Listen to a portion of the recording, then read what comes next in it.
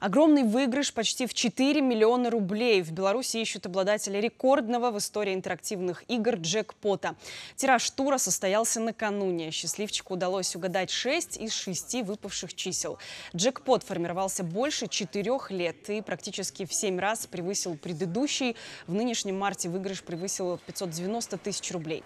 Организаторы уже ждут победителя с чеком, чтобы отдать выигрыш. По закону он не облагается налогом. Сумма будет выплачена оперативно оперативно и в полном объеме. Нам известно, что э, этот счастливчик э, из Могилева.